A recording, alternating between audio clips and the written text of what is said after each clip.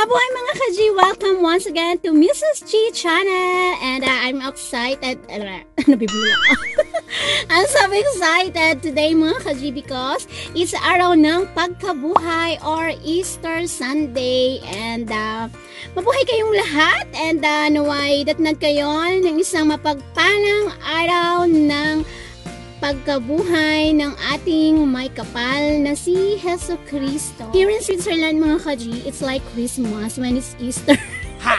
you know why?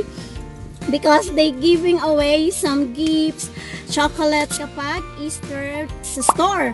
Ang daming Easter rabbit or rabbits na ano, na mga chocolates and then mga eggs or ayer in Dutch or eggs in English. Yung mga chocolates ayer, chocolates chocolates. Kailangan daw perfect yung pronunciation ng chocolate. Chocolate. Chocolates.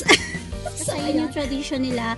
They giving away giveaways to the families or friends or neighbors some chocolates in the door like me yesterday I received uh, four rabbits in the door so nagulat ako pag balik namin ng bahay is may mga rabbits chocolates dun sa door namin or in the briefcase or in the in the mailbox. So yun. Mga kaji, i-share ko sa inyo ang um, isang traditional Easter season dito sa Switzerland. And, uh, we were going to make our own uh, Easter giveaways for our friends and neighbors. And basket is costed already 400 pesos or 10 francs or 9 francs in Switzerland. So that's why I chose to make my own giveaways for Easter. Kaya naman, ito po ang isi-share ko sa inyo ngayon.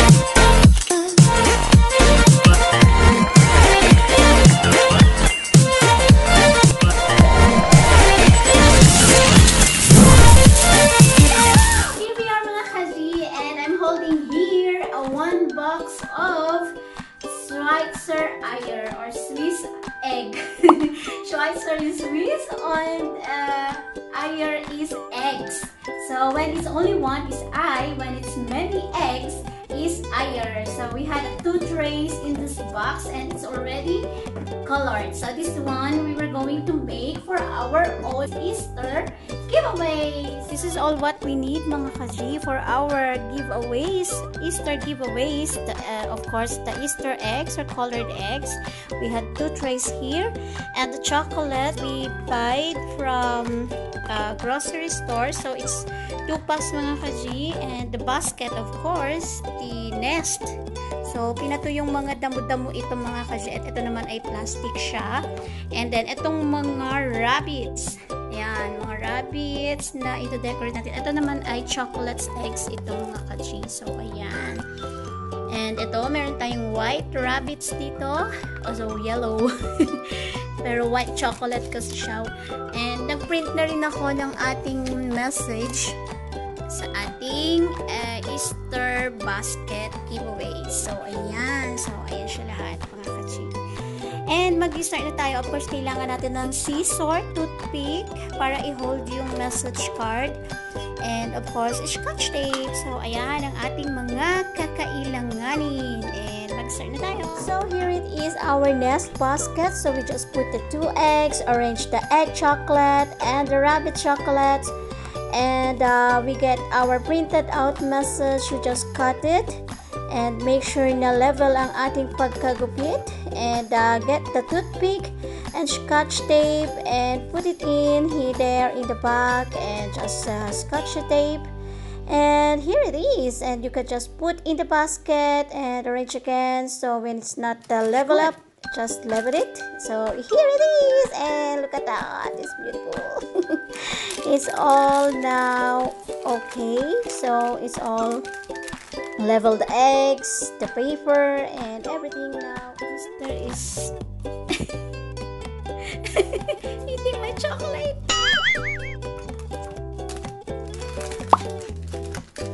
Need to think so only one eye so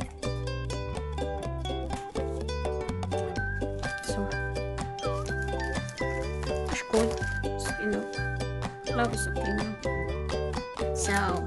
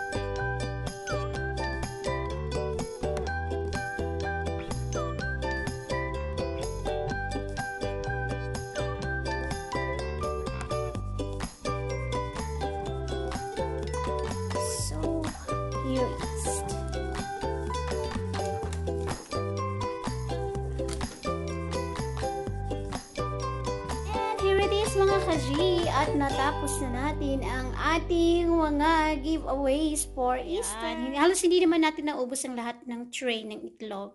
Kaya naman, ayun siya, for, for sa akin na yan.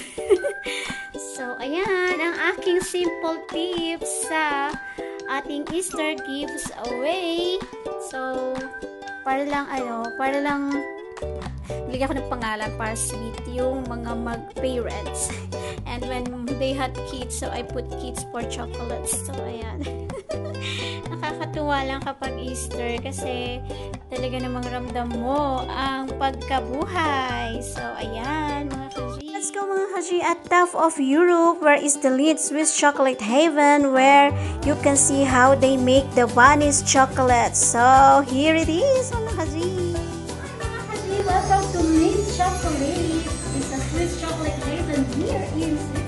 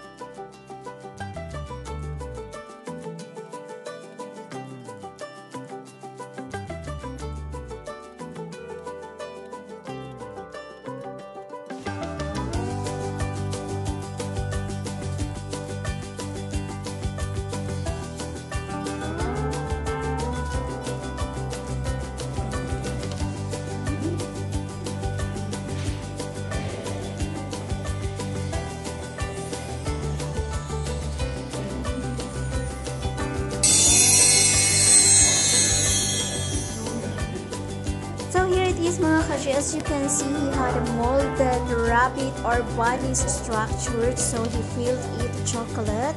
So ayan, pupunuin niya lang yan mga kaji hanggang sa umapaw siya doon sa kinakailangan niyang level of chocolates. And then ayan, hintayin niya lang na medyo tumigas ng konti.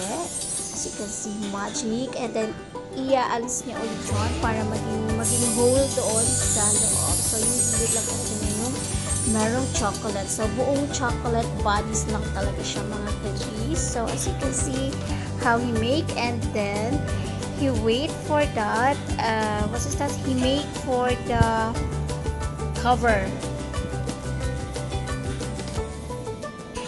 And then, ipa-flat niya yan mga kaji. So, as you can see, that how he made it. And then, after yun mga kaji, he will get the one he molded before and then uh, put it in together. So, meron lang paa ang rabbit or meron siyang She-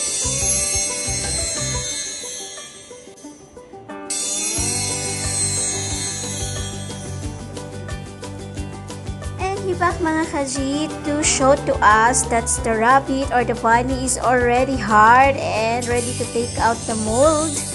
And as you can see, it's already rabbit. Oh my god, look at that. That was so cute. They're so beautiful.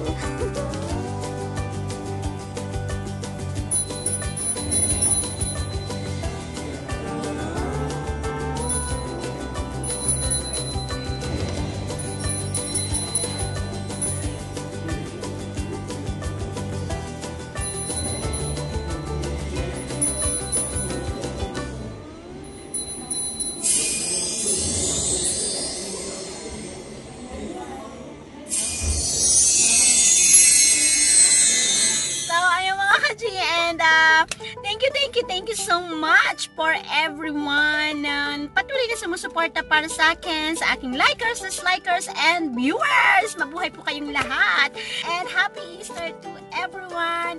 Thank you for watching and don't forget to subscribe, like, share, and comment.